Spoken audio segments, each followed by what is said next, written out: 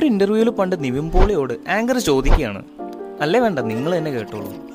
ഇനി നിവൻ പോളി എന്ന ആക്ടർ ഒരു തീഫ് ആയിരുന്നെങ്കിൽ ഒരു കള്ളനായിരുന്നെങ്കിൽ ഞാനിനി പറയാൻ പോകുന്ന ആൾക്കാരിൽ നിന്നൊക്കെ ഒരു on screen character Nivin Pauly എന്ന ആക്ടർ തീഫിന് സ്റ്റീൽ ചെയ്യാം. എന്തൊക്കെയാണെന്ന് പറഞ്ഞാൽ മതി ഓക്കെ ഓക്കെ ലാലേട്ടൻ. ഒന്ന് മുതൽ പൂജ്യം വരെ. പണ്ട് കിരൺ ടി വിയിൽ വന്നപ്പോൾ ഇരുന്ന് കണ്ട മൂവിയാണ് പൊതുവെ കുറച്ച് ക്യാരക്ടേഴ്സ് ഉള്ള മൂവീസിനോട് എനിക്ക് പ്രത്യേക ഇഷ്ടമാണ്. So this movie is one of my favourite ആയിരത്തി തൊള്ളായിരത്തി എൺപത്തി ആറിൽ രഘുനാഥ് പഴേരി ഡയറക്റ്റ് ചെയ്ത് ഡ്രാമ ജോണലിൽ പുറത്തിറങ്ങിയ ഒരു അണ്ടർറേറ്റഡ് മൂവിയാണ് ഒന്ന് മുതൽ പൂജ്യം വരെ. എലീന ഒരു വിഡോ ആണ് ആരൊക്കെ ഫോഴ്സ് ചെയ്തിട്ടും ഇനിയൊരു കല്യാണം കഴിക്കില്ല എന്ന് തീരുമാനിച്ച് സ്വന്തം കുഞ്ഞിന്റെ കൂടെ താമസിക്കുന്ന ഒരു സ്ത്രീ. അങ്ങനെ അമ്മയും മോളും മാത്രമുള്ള ആ വീട്ടിലേക്ക് ഒരു സ്ട്രേഞ്ചറുടെ ഫോൺ കോൾ വരികയാണ്.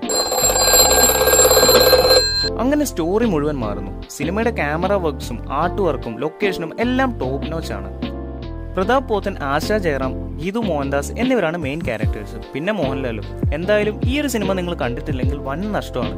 എന്താന്ന് വെച്ചാൽ ഭയങ്കര ഒരു സ്റ്റോറി ടെല്ലിംഗ് ആണ് സിനിമയുടേത്. പിന്നെ എടുത്തു പറയേണ്ടത് പാട്ടുകളാണ്. നിങ്ങൾ കേട്ടിട്ടുള്ള നല്ല പാട്ടുകൾ ഈ മൂവിയിലുണ്ട്.